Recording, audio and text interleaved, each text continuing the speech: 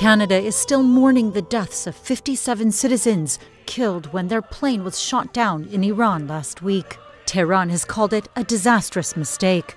But during a television interview on Monday, Canadian Prime Minister Justin Trudeau said the accident could have been avoided. I think if there were no uh, tensions, if there was no uh, escalation recently in the region, uh, those uh, Canadians would be right now home with their families. Uh, this is something that happens when you have conflict and war. Innocents bear the brunt of it.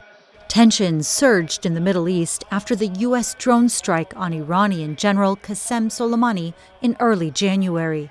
On Monday, Trudeau also said Washington had not notified its neighbor ahead of the strike.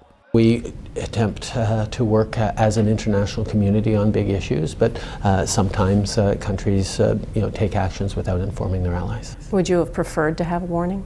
Uh, obviously. Soleimani's killing prompted retaliation from Iran, a missile attack on U.S. bases in the region. The plane was shot down shortly after. Following days of denials, Iran finally admitted its own military was responsible.